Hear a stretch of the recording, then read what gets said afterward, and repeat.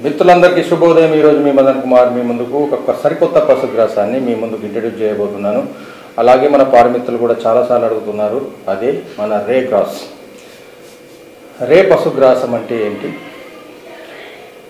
అది ఎలాంటి భూములలో ఎక్కువగా వస్తుంది? ఎంత దిగుబడి వస్తుంది? పోషకాలు ఎలా ఉంటాయి?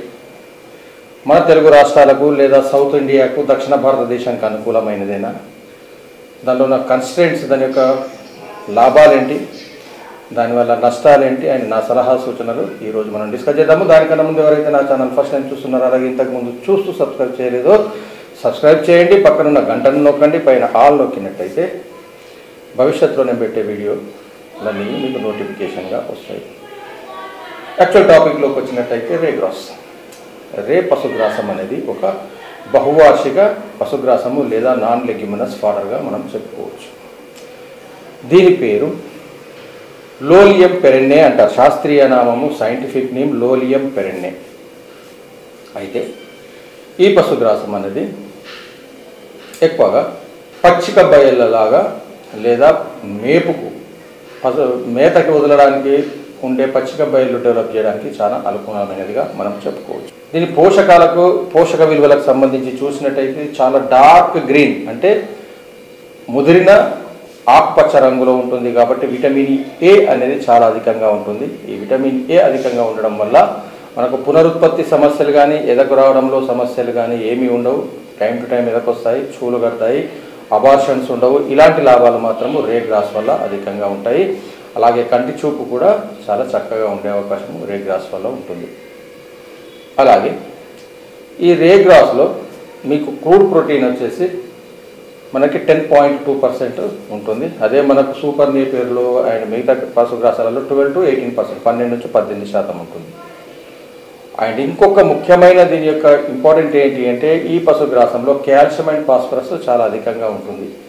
సూపర్ నేపేర్లో వాటికన్నా లేకుంటే మిగతా పశుగ్రాసాల కన్నా అధికంగా ఉంటుంది.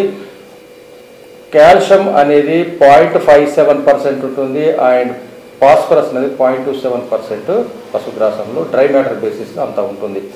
కాబట్టి ఆ రకంగా చూసినట్టయితే ఇది చాలా శ్రేష్టమైన పశుగ్రాసంగా మనం చెప్పుకో ఈ పశుగ్రాసము తొంభై సెంటీమీటర్ల ఎత్తు వరకే పెరుగుతుంది. అండ్ దీని యొక్క లాభాలు చూసినట్టయితే చాలా ఇష్టంగా తింటాయి చాలా రుచికరంగా ఉంటుంది. అండ్ అరుగుదల తొంభై శాతం వరకు ఉంటుంది. వీటికి చాఫింగ్ అవసరం లేదు. డైరెక్ట్గా మనము పెంచుకొని కంకి స్టేజ్లో లేత కంకి స్టేజ్లో కట్ చేసి మనము పశువులకు మేపుకోవచ్చు.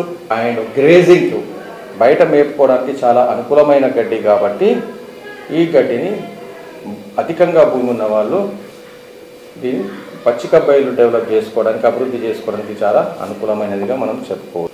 దీని యొక్క అతి ముఖ్యమైన లక్షణం ఏంటంటే మేపిన తర్వాత తొందరగా మళ్ళీ పెరుగుతుంది. అంటే మనకి ఇప్పుడు సూపర్ నేపర్ అవి రావాలంటే మళ్ళీ అరవై రోజుల వరకు వెయిట్ చేయాలి. ఇక్కడ మాత్రం రే గడ్డిలో మనము ఇరవై నుంచి ఇరవై ఐదు రోజులకు మళ్ళీ తొంభై సెంటీమీటర్ల హైట్ వచ్చేస్తుంది. మనం కటింగ్ చేసుకోవచ్చు లేదా గ్రేజింగ్ వదిలినా కూడా మనము అవి చాలా ఇలా మేసి ఆ మూలకి వెళ్ళేసరికి మళ్ళీ ఇక్కడ కూడా గ్రోత్ వస్తుంది కాబట్టి ఎప్పుడు మనం పచ్చిక గ- పచ్చిగడ్డి అందుబాటులో ఉండే అవకాశం మాత్రం చాలా బాగా ఈ రేగడ్డి యొక్క గొప్పతనంగా మనం చెప్పుకోవచ్చు. అండ్ ఎండు గడ్డిగా తయారు చేసుకోవడానికి అతిశ్రేష్టమైన గడ్డిగా మనం చెప్పచ్చు. ఇందులో లిగ్నిన్ కంటెంట్ కానీ వెండు పదార్థం కానీ చాలా చాలా తక్కువ. దీని యొక్క లక్షణాలు చూసినట్టయితే ఫోటోలలో చూడండి. ఇది చాలా తొంభై సెంటీమీటర్ల ఎత్తు వరకు పెరుగుతుంది మనం అనుకున్నాము. అండ్ కాండం అనేది చాలా మెత్తగా రుచికరంగా సన్నగా ఉంటుంది. ఆకులన్నీ చూ- కూడా కాండం చుట్టూ చక్కగా కవర్ చేసి ఉండి మొత్తం గ్రీనరీగా కనబడుతుంది.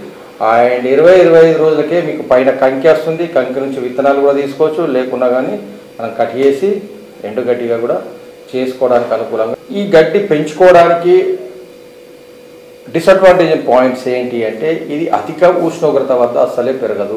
దీనికి ఇరవై నుంచి ఇరవై ఐదు డిగ్రీల సెంటీగ్రేడ్ వద్ద మాత్రమే దీని యొక్క ఎదుగుదల గ్రోత్ చాలా చక్కగా ఉంటుంది కాబట్టి మన దక్షిణ భారతదేశానికి ముఖ్యంగా తెలుగు రాష్ట్రాలకు అంత అనుకూలమైన గడ్డిగా మాత్రం పచ్చిక బయలు డెవలప్ చేసుకోవడానికి సూటబుల్గా కాదని చెప్పవచ్చు కానీ మీకు నీటి వసతి సరిగా ఉన్నట్టయితే కోసి పెంచుకొని చాఫింగ్ లేకుండా డైరెక్ట్గా పశువులకు మేపుకోవచ్చు అండ్ ఎస్పెషల్లీ గ్రేజింగ్ అనే అనే విషయానికి వచ్చినట్టయితే గొర్రెలకు మేకలకు చాలా అద్భుతమైన మేపుకు పశుగ్రాసంగా చెప్పొచ్చు. ఇది నేను చెప్పడం మర్చిపోయాను. దీన్ని దృష్టిలో పెట్టుకోండి.